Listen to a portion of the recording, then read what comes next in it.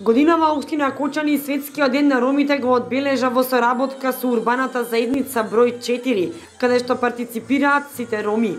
Денот беше одбележан со различни активности и богата програма.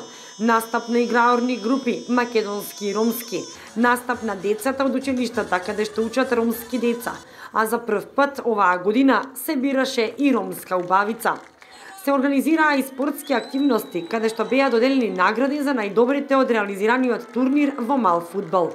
Во културно-метничкиот дел ги вклучуваме децата од училиштата каде што имаме и роми и македонци, Раде Кратовче, Никола Карев и Малина Попиванова, настапуваат со своји точки.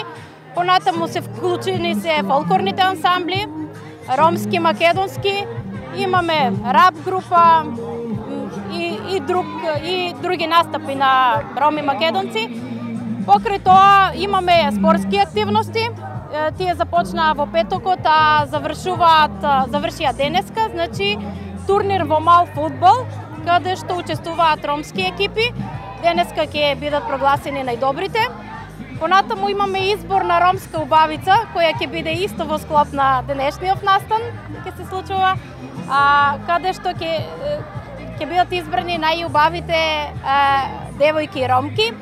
Годинава во одбележувањето не беа вклучени невладините ромски организации Авена и Светла иднина.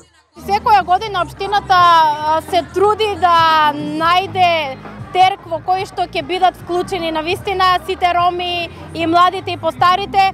Значи минатата година ги вклучивме невладите, невладините ромски организации. Ете оваа година за прв пат ја вклучуваме урбаната заедница со цел нели и невладините организации и сите кои што сакаат да партиципираат, да учествуваат во оваа манифестација и да дадат свој прилог во одбележувањето на светскиот ден на ромите.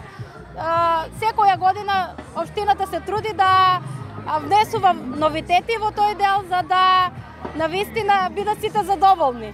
Интересно е тоа што годинава за прв пат урбаната заедница 4 организираше дегустација и презентација на традиционални ромски јадења, за која што прилика беа ангажирани ромски домакинки кои што ги приготвија традиционалните јадења.